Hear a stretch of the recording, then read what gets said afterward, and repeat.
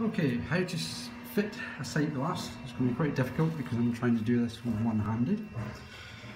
So we have our glass, um, this is a 4 inch but it's exactly the same for a 2 inch. So we set the glass in through the top fitting and we have the glass sitting through. Now what we want to do is boot the top nut turn that round, it's the wrong way top nut on with the washer, push it on into the glass,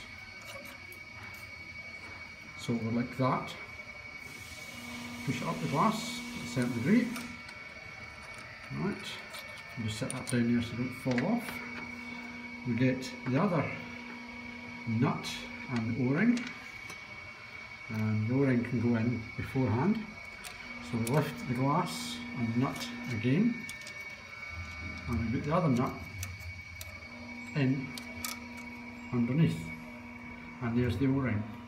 So now when you set your glass down into the fitting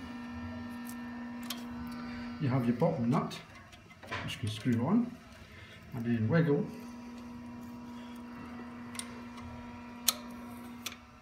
the top nut up screw that one and then we'll put the glass back down into the bottom nut, just like that. At that point, you can now tighten both nuts up and there is your sight glass fitted. Then boot top fitting in. And on the 2 inch, it's exactly the same. You've got your bottom nut, you've got your top nut, and then you've got the fitting that goes in the end.